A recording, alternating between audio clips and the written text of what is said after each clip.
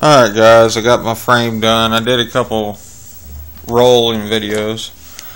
I've got the rig built, but I don't have the servo to make it operate, but this is the frame so far.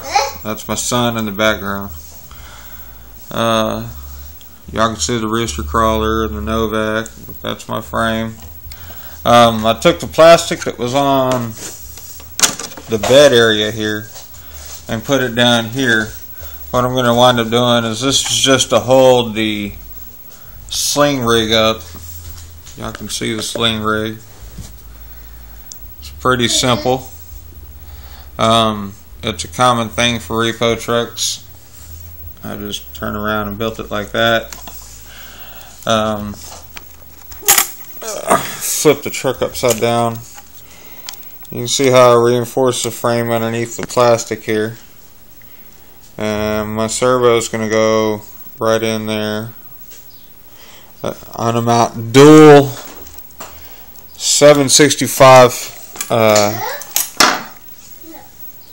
same servo as this guy right here uh, Hitec servo.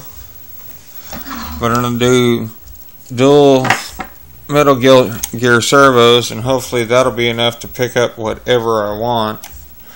Uh, I used brass and steel threaded rod to make all the uh, deal. It's all 540 or not 540, uh,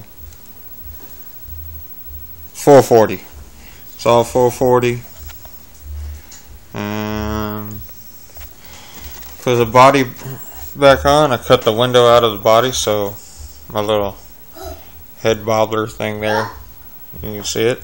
That way I got me a little tow truck driver when the rig's on. But I'm going to have servos probably this weekend. I hope. We'll see. Have a working rig and then I'll tow something.